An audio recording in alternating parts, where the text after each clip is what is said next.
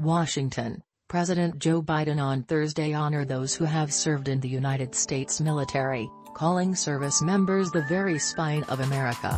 Our veterans represent the best of America, the president said during a speech on Veterans Day at Arlington National Cemetery.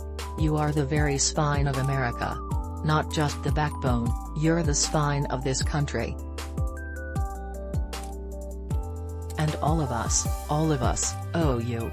Biden's remarks came hours after the White House announced new actions that allow veterans to make claims on certain lung and respiratory effects they may experience due to exposure to contaminants and environmental hazards. Biden highlighted the new efforts during his speech Thursday.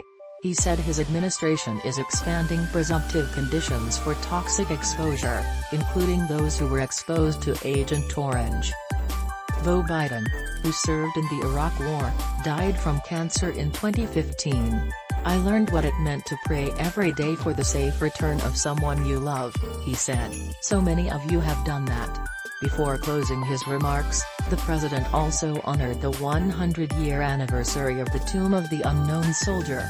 Veterans are the soul of America, Biden said. America's soul. It's why our veterans have always fought, always been willing to put themselves on the line. Reach Rebecca Morin at Twitter at Rebecca Morin underscore.